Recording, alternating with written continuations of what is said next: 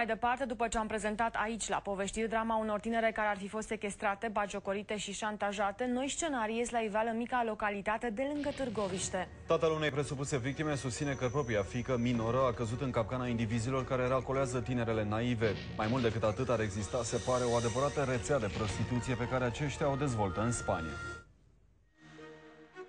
Mă întorceam acasă de la școală și stăteam pe scaun și ascultam muzică.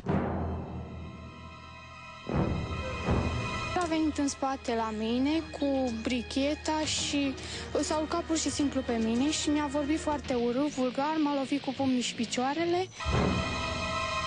Și a vrut să-mi dea foc la păr, m-a tras de păr, mi-a fi mâna în gât, în, o să mă strângă de gât. Scena de groază s-a petrecut ziua în amiaza mare, într-un autobuz în care se aflau și alți călători. Tânăra, elevă încă la liceu, se ducea în comuna unde locuiește. La un moment dat, individul s-a așezat lângă ea și a început să o mângâie. Când adolescenta a ripostat, bărbatul a început să o lovească. M-a lovit de două ori, adică a dat o dată mine, după aceea s-a mai oprit și, uh, și a revenit din nou. Un individ, geantă Marian, a lovit-o și i-a sustras și telefonul mobil pe care îl avea asupra ei și căștile. În aceeași localitate dâmbovițeană, mai multe tineri ar fi fost sequestrate și batjocorite de câțiva indivizi. Aceștia filmau totul și foloseau materialele video ca obiecte de șantaj.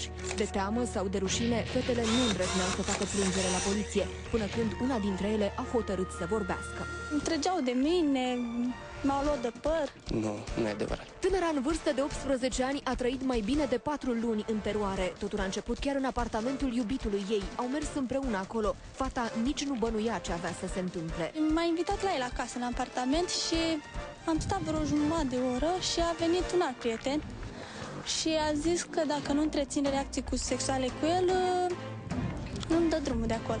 N-ați participat? Nu. Te-au chinuit amândoi? Da, Ce ți-au făcut? Și îmi trăgeau de mine, m-au luat de păr. Sunt voci care susțin că individul fugit în Spania ar avea legătură și cu povestea petrecută în autobuz. Este un individ foarte periculos și el am impresia că și am auzit că el se ocupă cu trafic de persoane. El cred că pe motivul ăsta a vrut să, să o racoleze și că el are un apartament în uh, Târgoviște care duc uh, fetele acolo și uh, le își bat joc de ele.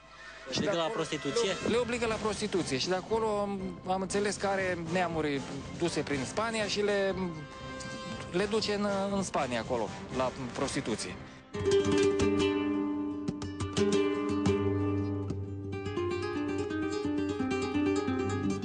Am aflat că și altor fete a vrut să le facă, adică le-a făcut rău și multe lucruri mult mai, mult mai, mult mai grave. Ți se teamă de el?